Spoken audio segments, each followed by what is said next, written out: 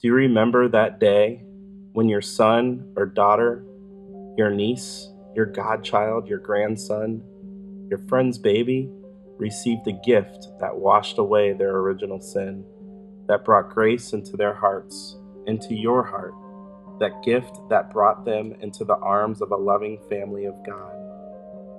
Do you remember the water, the water of life that rushed into their soul, that flowed into your family, that water that poured over their head? You brought them the gift of baptism, and now they've grown.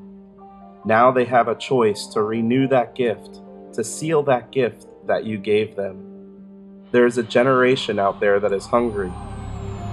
Is God calling you to take an active role in sharing your faith in our confirmation program? Come and see how you can make a difference. Confirmation inquiry meeting to view the materials we will use is being held Saturday, August 31st in the multi-purpose room at 9:30. If you are interested, please come to this meeting. For more information, please speak with our faith formation staff in the social hall following Mass. Discussion leaders for our teens and parent sessions are needed. We need you, they need you, and Christ is tugging at your heart. Nativity, feed my lambs. Hello, Nativity. My name is Justin Lance, the Director of Youth Ministry and just filling in for Father Prohl today for the announcements. Faith formation registration for adults and kids will be available in the social hall after all the masses today. Confirmation candidates need to also be sure that they set up their interviews with our faith formation staff.